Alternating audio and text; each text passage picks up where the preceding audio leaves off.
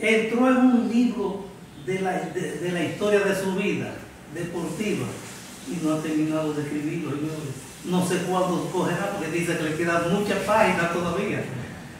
Estamos con un hombre del ciclismo, porque hablar de la España es hablar de ciclismo. Un hombre que no conoce la palabra retiro y está como el vino. Mientras más años, más fuerte. Len, gracias por permitirnos llegar a tu casa, porque aquí hay muchas cosas valiosas que contar. No, gracias a ti por darnos la oportunidad de llegar a, a la gente a través de tu programa y estamos orden aquí. Bien, Len, tu nombre completo. Lorenzo Antonio Faña, pero casi nadie me conoce por Lorenzo, porque desde niño el apodo es Len. Desde niño Len, en el ciclismo, donde quiera Len, o donde quiera Len. La edad, Eh, se, va a cumplir 64. 64 años, está como el primero guandú.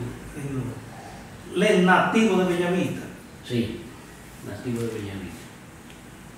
¿Cuándo inicia Len la práctica del ciclismo? Yo empecé corriendo ciclo y cuando venían los 12 juegos empezaron eh, a incentivar más el ciclismo y buscar muchachitos para ver lo que daban para ciclismo y entonces y- hicieron una carrera eh, en la circunvalación y prestan bicicleta cada uno. Entonces eso fue en el año 74. Ahí empezamos el ciclismo para los 12 juegos del 74. Y recuerda tu primera carrera. Bueno, ahí esa fue la primera. Esa fue la primera, Sí, en el que 74. buscar muchachos sí, que, que tuvieran talento. Len, ha sido el ciclismo tu único deporte. Sí, hasta ahora sí. Entonces, ¿con cuál club iniciaste?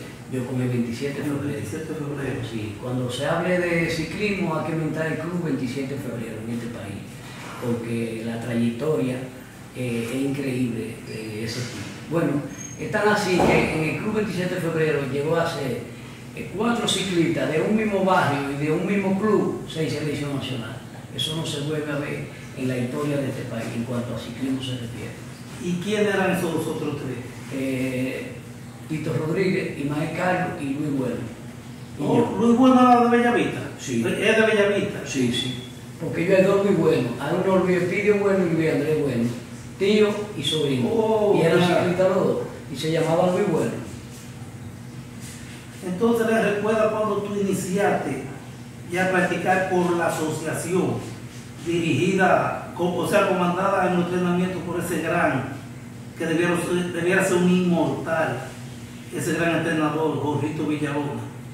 Eh, sí, porque lo que pasa es que antes de la asociación, eh, Villalona y, y Guillermo se unieron y hicieron un dúo como en este país no existe, dos gente juntas con una mentalidad de un desarrollo y un ciclismo avanzado a, los tiempos modernos. O sea, Guillermo y Villalona tenían una visión distinta del ciclismo.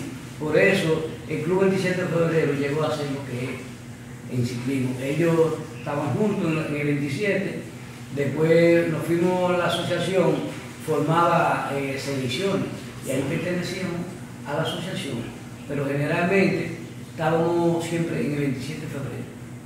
Entonces, hablando de Jorgito Villalona, que yo siempre lo catalogo como una universidad de ciclismo, ¿qué significa para la España Jorgito Villalona? No significa todo para nosotros, porque imagínate tú, nosotros, eh, ese para mí, ese de padre de nosotros, porque nosotros arrancábamos a las 8 de la mañana y estábamos juntos con él hasta las 2 de la tarde. Veíamos los muchachos cuando entraban a la escuela a las 8, lo veíamos cuando salían a las 12 y cuando entraban a las 2. Un ejemplo, si íbamos para una vuelta en Panamá, la vuelta a Chiriquí, que eran 14 etapas, era exigente y teníamos que, hacer muchas horas de la bicicleta. Sí. No que hay que ser muy claro. Por eso que es ciclista, señores. Usted lo conoce. Prieto de ir para allá y Prieto de ir para allá, porque que eso que de tanta sobreentrenamiento no es fácil. Len, ¿cuánto, ¿a cuántos países viajaste como élite? No, yo fui a muchísimos países porque imagínate, yo duré como 17 años en la selección nacional. Entonces, Un logro Sí. envidiable. claro, increíble. Sí, más que nosotros, a través del Club 27 de Febrero, íbamos, un ejemplo, a Puerto Rico, íbamos al Clásico Calle, Clásico de Arroyo, eh, la Vuelta a Puerto Rico, o sea, en el año participábamos en es, cuatro y cinco eventos en Puerto Rico solo, to- fijo, todos los Oh. años. Esas invitaciones llegaban al Club 27 de Febrero. Sí. Entonces, tu primera vuelta fuera del país, ¿la recuerdas? Bueno, La primera, sí, eh, en Panamá. a Panamá Sí, fue la primera. vuelta a Chiriquí. Sí. No, corrí vuelta a Venezuela, vuelta a Táchira, fue primero esa que, que Panamá, sí. sí.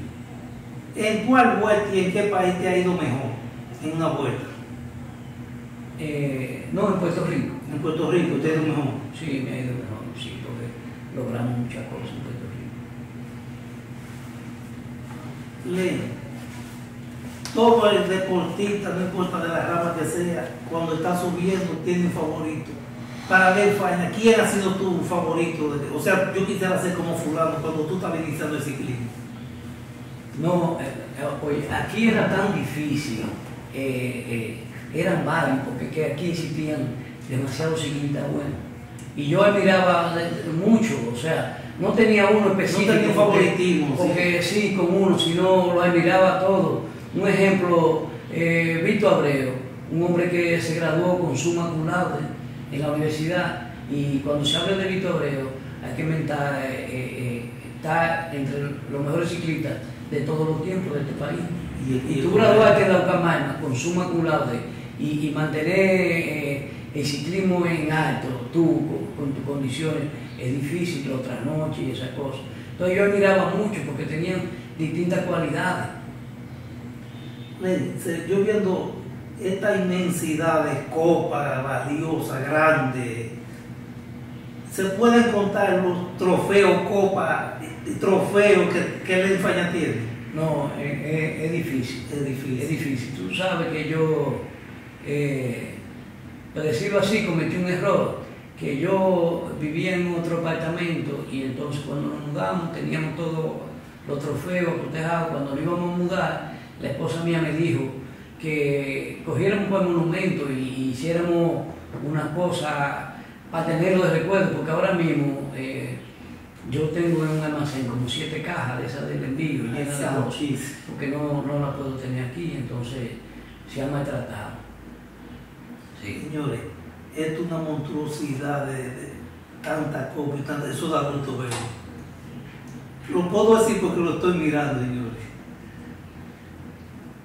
Len, ¿te sientes satisfecho con tanto logro en el ciclismo? Sí. Aparte de los logros que yo he conseguido en ciclismo, la satisfacción más grande mía ha sido la gente que yo he conocido, las amistades que yo he conocido, tanta gente buena que está ligada al deporte, que está ligada al ciclismo. Entonces, a través del ciclismo yo he hecho una amistad increíble, porque tú y yo nos conocemos hace mucho tiempo y entonces tú tienes que ver la procedencia de donde vengo yo, más o menos, y, y- y el apoyo que he recibido de, de tanta gente buena. Len, la vuelta más difícil para la Faña, ¿cuál ha sido? Bueno, tú ¿Y, sabes y que, por qué? sí, eh, eh, tú sabes que uno aquí se preocupaba mucho por, por ir en condiciones. Yo fui a una vuelta eh, en la Guyana francesa, entonces por el, el- el desarrollo del ciclismo francés eh, es difícil. Mm. Entonces, pero esa es una de las mejores vueltas que a nosotros dominicanos, en la- esa vez la selección que fuimos, que nos fue mejor, porque logramos muchísimos, muchísimos objetivos muy buenos con, con el nivel de ciclismo que hay. Entonces tú sientes una satisfacción cuando tú ves que un país como este, que tú sabes que no, el ciclismo no es aquí es la pelota y esa cosa. Y cuando tú logras eh, eh, andar con esa gente que anda de verdad, tú sientes una satisfacción eh, bien propia. Entonces, cuando tú dices de difícil, ¿a qué te debe? ¿A mucha loma, mucha curva, mucho plano? No, el ritmo que se anda. El ritmo. Eh, en la loma, el ritmo que se sube en la montaña.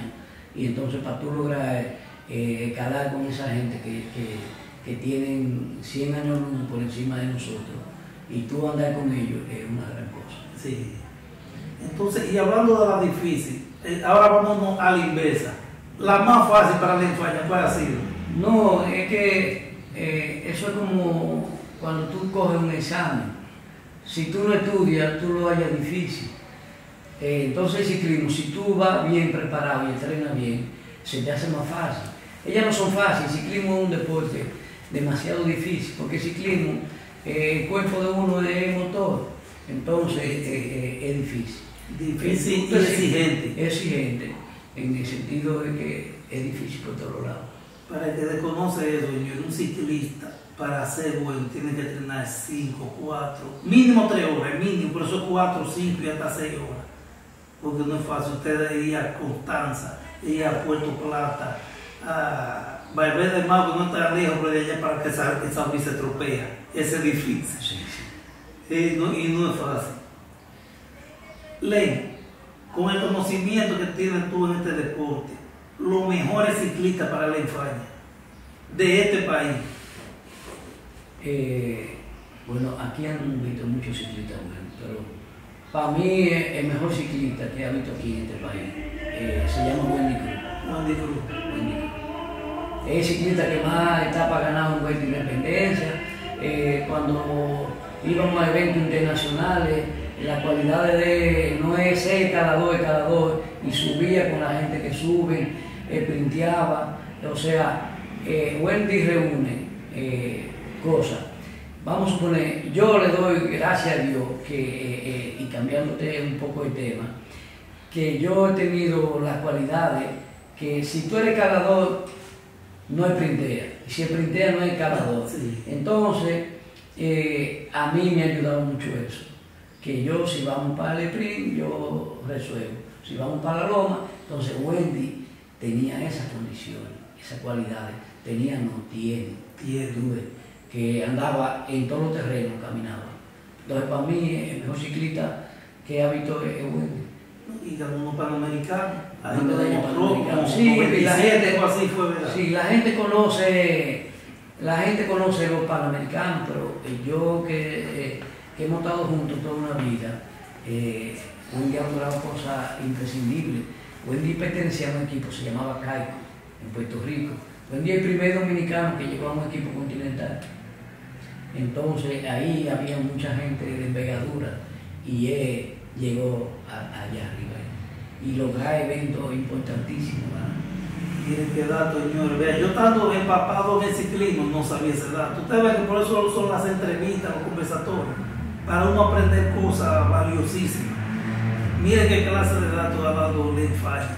Y un saludo desde aquí, un abrazo al ciclón, Wendy Cruz, valioso ciclista, valiosa persona, un hombre de poco hablar, no altanero donde, donde llegaba. Y por eso todo el que sigue el ciclismo le tiene aprecio a Wendy Cruz. Len, una vuelta que te haya dejado un gran recuerdo. Tal vuelta, oye, eso nunca lo he podido olvidar por esto, esto. esto. Bueno, eh, la Vuelta Independencia, porque tenemos que hablar de la Vuelta Independencia, que es lo nuestro. Eh, eh, yo, eh, había una etapa que, que, cruzaba, que llegaba a Samaná, eh, a Sabana de la Mar, y, y llegamos nosotros totalmente, que la carretera mala, ma- eh, tropiado llegamos, y entonces eh, esa anécdota ya es una vuelta, pero es fuera de la bicicleta. Lo que hay que nosotros nos, cruza- nos tocaba cruzar el barco de Sabana de la Mar a Samaná. En barco, sí, en barco, porque al otro día la etapa salía de Samaná. Entonces, nosotros, eh, como habíamos montado tampoco en barco, nosotros decidimos dos o tres subirnos arriba, en, la punta arriba. Y habíamos acabado de correr una etapa de 140 kilómetros y estábamos estropeados. Bueno, cuando arrancamos a esta más, nos pusimos malos. Y, eso nunca se me olvida porque eh, no fue mal. Pero, señor, por la cosa que pasa con el ciclismo, es fácil. El ciclismo requiere de mucha, de mucha entrega, mucha dedicación. Le vamos a hacer ahora una transición, porque estamos hablando de élite.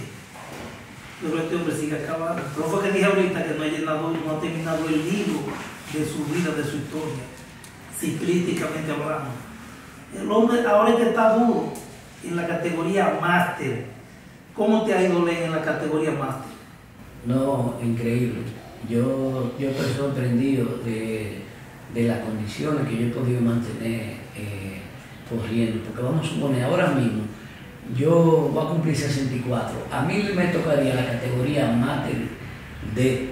Entonces yo estoy corriendo la máster C con los de 50. Con los de 50. Entonces el esfuerzo es más grande. Pero yo como ciclista mate he logrado eh, cosas increíbles. Por lo menos en un año aquí se celebra el campeonato de Simasi, que es de Cibao, sí. la Vuelta de Española, eh, que son eventos importantes, el Cero de Oro, y el Triple 100. Entonces hay, hay un año, un año, que yo he ganado Simasi, Lisimasi, el Cero de Oro, 30 de marzo, Vuelta de Española y Triple 100 en un año. O sea, he logrado ganar los eventos más importantes que se celebran en este país. Ah, otra cosa, el evento más importante más que se celebra aquí, o sea, en cuanto a participaciones, eh, se llama Triple 100. Triple 100. Entonces yo soy el único ciclista. Triple 100 en, en, eh, a nivel organizativo mejor que Cerro de Oro. Eh, sí, porque lo que pasa es, yo digo de nivel porque es internacional, porque vienen 12 y 13 países. Sí.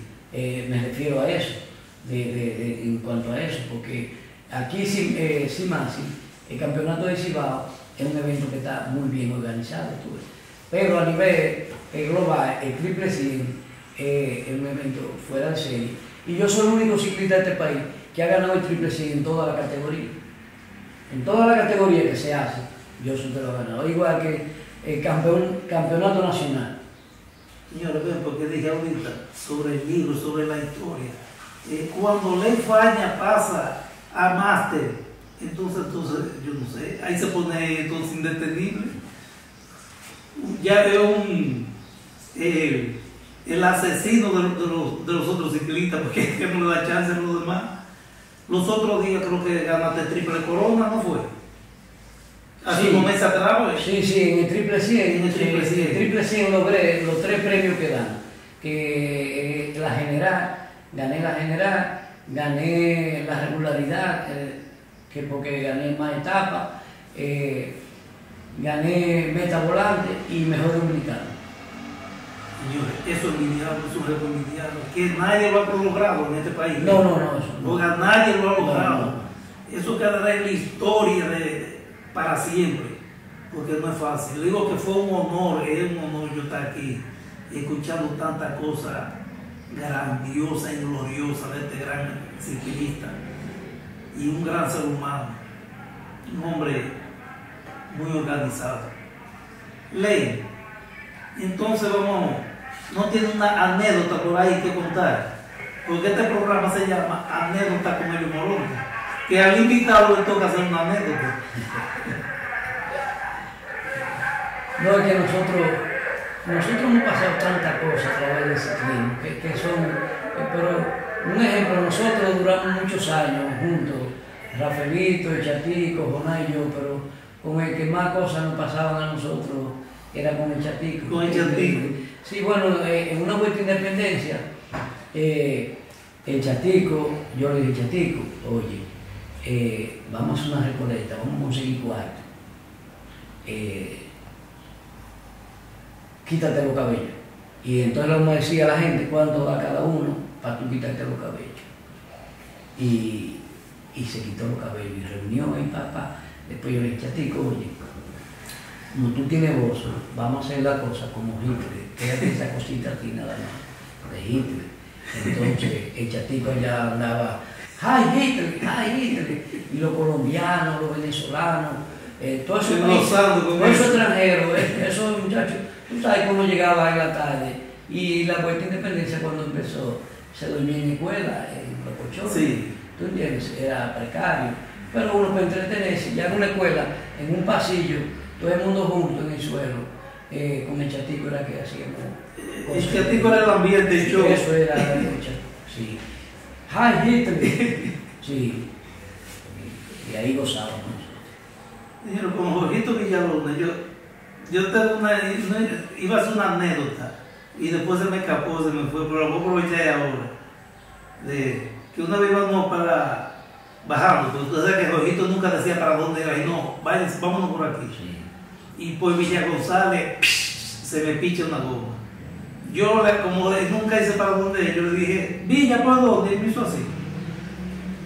Vamos bajando por Villa González. Yo entendí, pues volver de nuevo.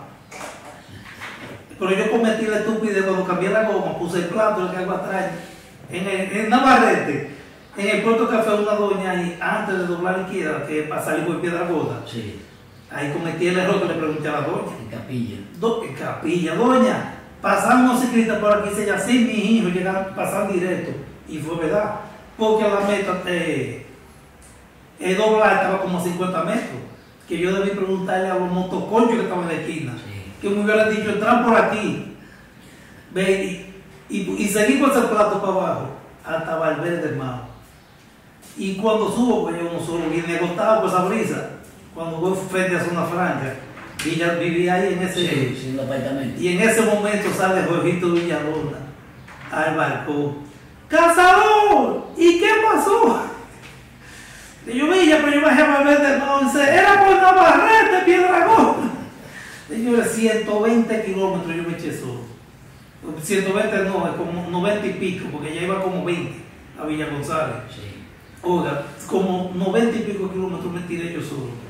Por la estupidez fue mía. Y eso son tantas de las anécdotas que le- Sí, le- a uno le pasa. Porque es que son tantas cosas, tantas cosas. Oiga, tantas cosas en este ciclismo que luego ya yo no hay que preguntarle. Len, eh, el, el trofeo más, más, más merecido para ti, que tú digas, "Oh, este fue fajado que yo me gané. O la copa, porque ya una copa, un trofeo, un trofeo es algo muy sencillo. Tú sabes que el- para uno lo más importante es un campeonato nacional. Eh, ser campeón nacional, eh, eso es una gran cosa. Para mí, eh, son los más importantes, los premios más importantes para mí son los campeonatos nacionales. Y a mí, ya que tú, tú me estás preguntando, yo nunca hablo de mi logro, tú sabes, porque uno, en cuanto a eso, uno se reserva, no está hablando de yo soy esto y el otro. No, no, pero para eso Pero estamos, estamos en esto y entonces voy a aprovechar la ocasión que tú me estás brindando para yo decirle a los seguidores del ciclismo y a los que les gusta el ciclismo que yo soy el único ciclista que ha sido campeón nacional de este país en toda la categoría. Juvenil, élite, Mate B, Mate C, Mate D. Ahora, llevo, después que logré eso, llevo otra cosa. Ya tengo otra cosa, que tengo tres años siendo campeón nacional eh, eh, de contrarreloj y de ruta. Son las dos modalidades que se hacen en, en el campeonato nacional. Entonces en la categoría B, ya yo he logrado, ya tengo tres años pisado, eh, ser campeón nacional de las dos cosas. Entonces para mí, tú llevar, vamos a suponer, mira, eso es cuando yo fui campeón nacional de la marca del pelo. Eh, eh, tú llevar esos colores eh, de tu país, mira, mira, campeón nacional, eso es increíble. Tú llevar los colores de tu país y representar entonces, eso es una gran cosa. No. Para mí esos son los logros más grandes que yo he tenido. gran cosa en cualquier caballero. Es un logro. Es un logro grande, gran cosa. Gran cosa es cuando uno gana una caballada.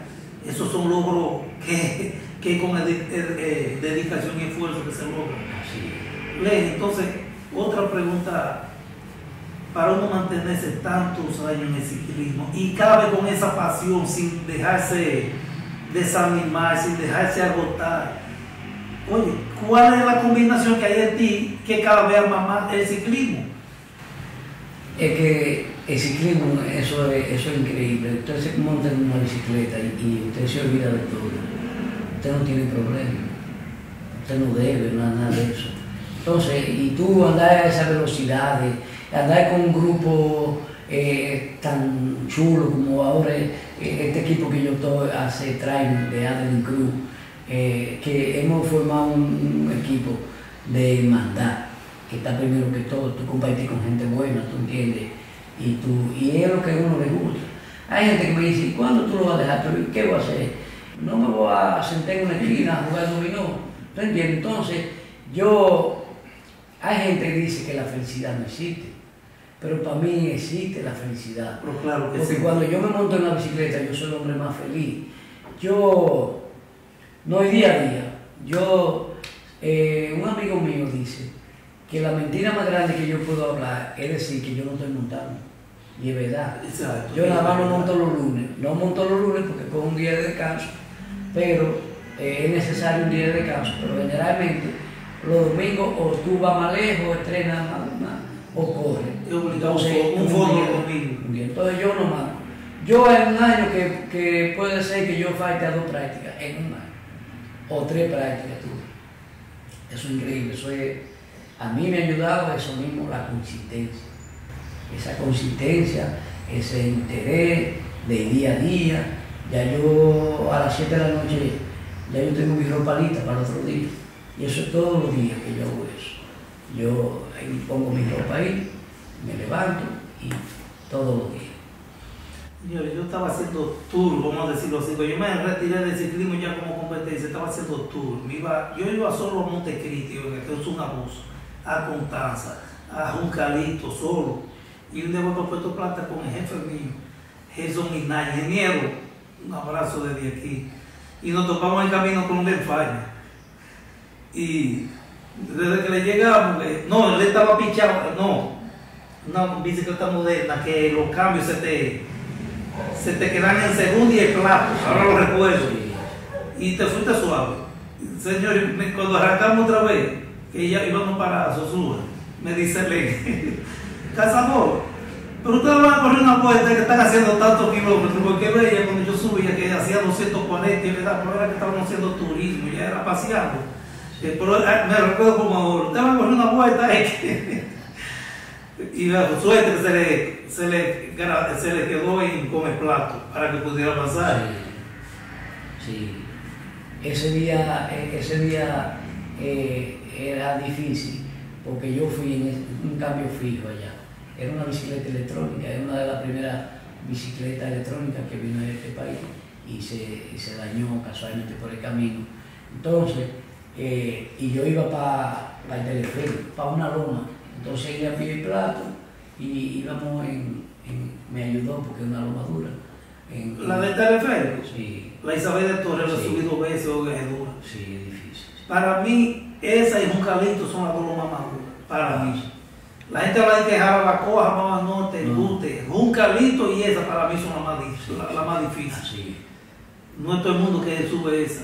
Le, pero eh, eh, cayendo ahora con eso que tú me dices de, de los cambios electrónico. electrónicos, entonces por un peligro una competencia. Tú te imaginas que tú estés ganando una vuelta. No, Y entonces se te te esa fue la primera cosa, vamos a suponer. Yo, eh, eh, el ciclismo, yo no pensaba que iba a avanzar tanto en cuanto a la tecnología, porque yo empecé a montar bicicleta con una bicicleta, un piñón con cinco cambios. Sí. Ya esta tiene 12 cambios. Y, y, y Ya con golpe aquí abajo, el Y palanca aquí y abajo. cosas, ya esto es a través de Bluetooth, te pasa con una batería que tiene, eh, eh, transmite y eso es increíble, o sea, que ha avanzado No, fuera de serie. Satisfactoriamente, un cambio radical. Sí.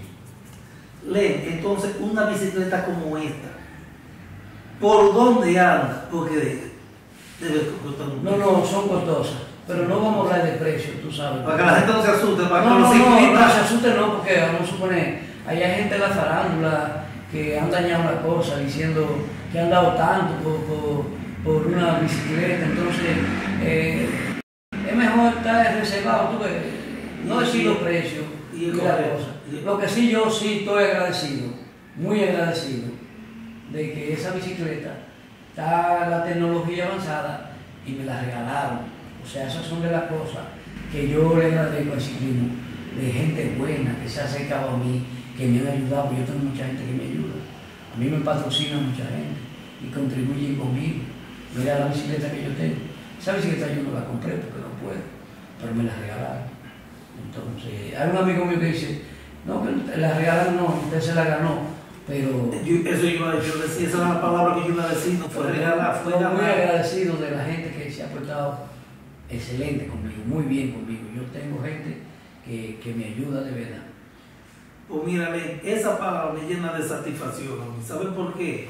Porque muchos deportistas que no han recibido ayuda, nada más usted ve con los gritos al cielo. Entonces, miren qué, qué diferente a la España. Se siente agradecido porque en verdad ha recibido ayuda. No. Porque no son todos que han podido conseguir esa ayuda. Y si todos tuvieran esa suerte, este país fuera mejor. Y cualquiera tuviera interés de hacer deporte.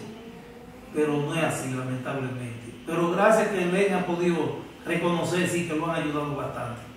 No, no, me están ayudando. Si digo que no soy ingrato y yo, ya tú puedes ver eh, que si yo te enseño una bicicleta, cuando para la primera vuelta de independencia, que me compró la tabacalera y yo veo la diferencia, la tecnología como está ahora, y eso me lo regalaron, gente que me ayuda, yo tengo, yo tengo mucha gente que en verdad me quiere, tú eh, y me ayuda. Uno que yo siempre critiqué en eso, que no ayuda, el pobre Chatico. Siempre, os digo, no sé si recibe ayuda, pero para mí que no, porque el pobre Cha- pobre Chatico, imagínense, haciendo deporte y motoconchando. No, no, así no se avanza. Y como quiere, el pobre fue. No vamos a decir que una estrella, pero fue bueno. Sí, daba agua que beber. Tú supieras que yo, eh, eh, yo he hablado mucho con él, pero el chatico no quiere cambiar nada, Mm. porque eh, es su forma, él debiera cambiar su forma de ser, porque él tiene, vamos a suponer ahora mismo, él anda con Minier, el abogado, Minier le busca, él no le coge la llamada, nada de eso. entonces Ah, han no. tratado tú ves, de, de ayudarlo y, y- y el chatico lo quiere mucha gente, porque Claro. el chatico es carismático, Popular. es bueno, es serio, honrado, que, que eso es difícil, tú ves. Entonces, él no se deja ayudar. No, pues mira, Chatico, tú vas a tener que escuchar, porque yo, ta- hasta yo te me voy a acercar para que hablemos un ratito. Sí. Y te voy a hacer una entrevista, pero tenemos que, a- a- no a la entrevista, sino en lo personal tenemos que hablar. Porque quien quiere ayudarte es quien te quiere y hay que escuchar. Nadie que no te quiera no es verdad que te va a ayudar. Así que los buenos consejos y las buenas cosas hay que escucharlas. Len, caramba, darte las gracias por este sinnúmero de cosas que, que fue como dije, yo sé que aquí se me quedan preguntas por pila, porque es que tú, señores, fue como dije ahorita, no quiere terminar el libro de la vida ciclística de este hombre, porque es que dice que ahora que le faltan triunfos, logros, pero nada, vamos a seguir disfrutando de estos logros de ley y darle las gracias por recibirnos aquí en su residencia. Ley, muchísimas gracias Como por ya tú sabes, estamos a tu orden aquí, cualquier cosa, y, y si un día tú quieres dar una vueltecita, nos juntamos. No, que, que no está mal, ¿verdad? Sí. yo recuerdo el Sí, tiempo sí. porque yo me alejé un del ciclismo, pero esta es- es- ha sido mi pasión. Sí. Aunque yo estaba en atletismo, pero mi pasión ha sido eso, el ciclismo, de toda la vida. No, y en este país, a través de la bicicleta uno conoce muchos sitios tan bellos que hay en este país, porque aquí este país es bello, de verdad. Que por eso que yo hacía mucha loma hasta solo, porque yo, yo adoro leer la, la loma, los campos, yo adoro eso. Sí, sí, sí. Señores, eh, y no se olviden darle like, suscríbanse, porque anécdota con el Moronta siempre traerá cosas valiosas, cosas buenísimas, y esta es una de ellas, un ejemplo a seguir, Ley Falla. Muchísimas gracias.